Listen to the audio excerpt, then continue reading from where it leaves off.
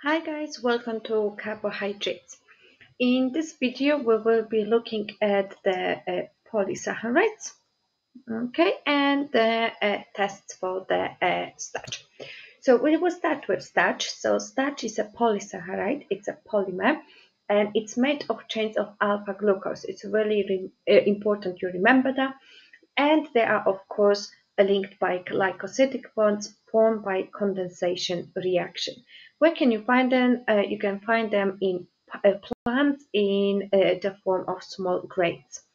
And chains could be branched or unbranched. So they would uh, uh, they want into a tight coil that makes the molecule very compact. Okay, so it's a really important characteristic that we will be looking at later on. It's compact, and what you need to remember, it's not going to be found in animal cells. So in terms of the starch, uh, you need to be able to look at the relationship of it and its structure. So, so what man is with us? Because you need to get used to the word so. Okay, so uh, let's get started. So starch is insoluble because obviously it's large. So if it's insoluble, what does that actually mean? So it does not affect water potential, that's a keyword. So water is not drawn into cells or out of the cells by osmosis, another keyword. It's large and insoluble, another characteristic. What does that actually mean? So the starch uh, does not diffuse out of the cells, so it's a really important thing. It's compact, okay, so a lot of it can be stored in small place and when it's hydrolyzed, it will form alpha glucose, which could be then easily transported because we say starch cannot be transported out of the cell and could be used for the process of respiration. And also it's branched, so for many ends, and uh, each of uh, so each of which can be acted uh, on by enzyme stimulations meaning that glucose monomers are released very rapidly. So that's important characteristic. When you're looking at the past paper questions, they're asking, look, describe and explain features of starch that make it a good storage molecule. So again, here we will be looking at this pattern with so.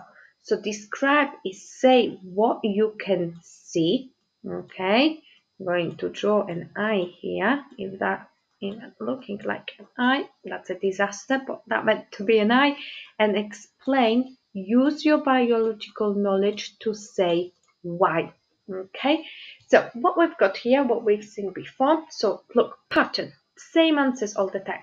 So it's insoluble, so doesn't affect water potential. It's branch coil, okay, so it makes it compact okay or can fit in small areas it's a polymer of alpha glucose. So, okay, can be used for respiration. It's a substrate for respiration. It's branch, so that means has many ends, so they can be uh, used for the fast breakdown, for the enzyme actions, and it's large, so cannot cross the cell membrane. So that can mean that means cannot leave the cell.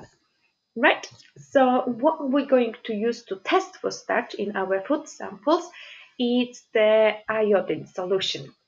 Okay, so iodine solution, make sure you just uh, you say iodine solution, not just iodine, that wouldn't give you any marks.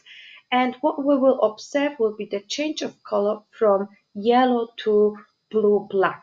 So how do we do it? We will put a sample in our test tube. We will add two drops of the iodine solution, okay, shake it or stir, and the presence of starch would be identified if the change of color will be present, so from yellow to blue-black. Another polysaccharide that you need to be aware of is a glycogen. So glycogen, it's made of alpha glucose, okay, same as uh, the one that we were, or, or same like starch, and it's of course linked by glycosidic bond. Here we will have two types of the bonds, one 4 and one 6. So what does that actually mean?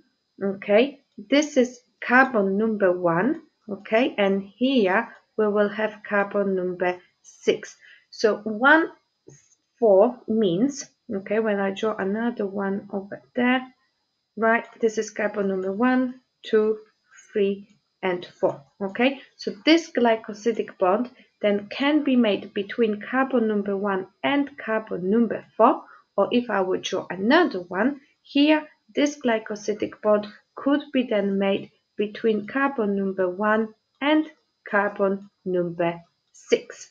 Okay, so that's the linkage. It's of course a polysaccharide, so it's a polymer made of many alpha glucoses. It's found in the animals and bacteria, but never in plants. It's similar structure to starch, but there will be differences. And it's the major carbohydrate storage uh, product of animals stored in small granules, which we can find in muscle or liver.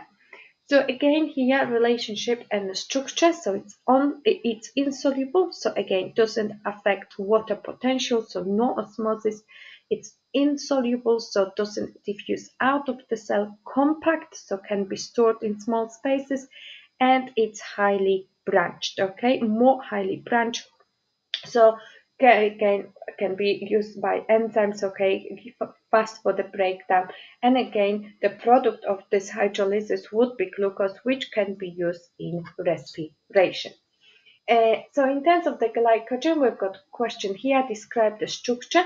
And another question suggests how glycogen acts as a source of energy okay? Do not include transport across membranes in your answer.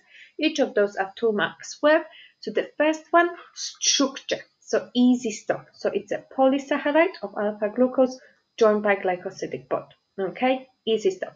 So just how will act as a good storage? So then you need to use the notes from our so what approach from before, mm, from the slides before.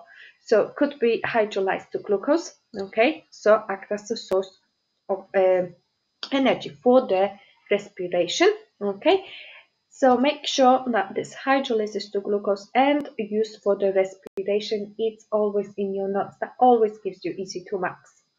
So the last of the uh, polysaccharides is cellulose, and this is where the main difference is coming from. It's made of beta glucose.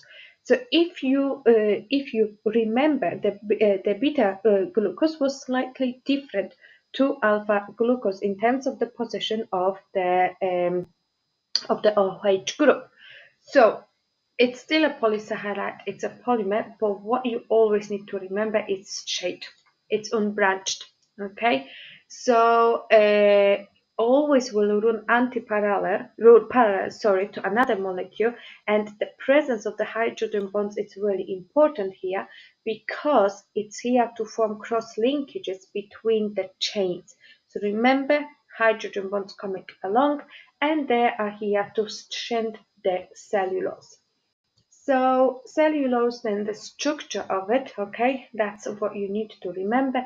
It's grouped together to form microfibers, as you can see here. So this is the cellulose molecule made of beta glucose, and it forms microfibers, which in turn are arranged in parallel groups called fibrous. Okay, it's a major component of the plant cell wall, so provide ridges. That's always the mark on the mark schemes. And cellulose cell wall prevents the cell from bursting, so that's another information. So will help with the pressure. And the living plant cells uh, are turgid and push against one another to provide the maximum surface area for the photosynthesis, for the absorption of the sun uh, light energy. So relationship to the structure, okay, again, same approach with so what, but here we will be talking about straight molecules because of the presence of beta glucose joined by those hydrogen bonds to form microfibers so provides straight okay strength okay so that's your model answer for the structure and function of cellulose. So uh, we got one more question here. Describe the differences between the structure of cellulose and uh, uh, uh, glycogen molecule. This is a really good question because they want a difference.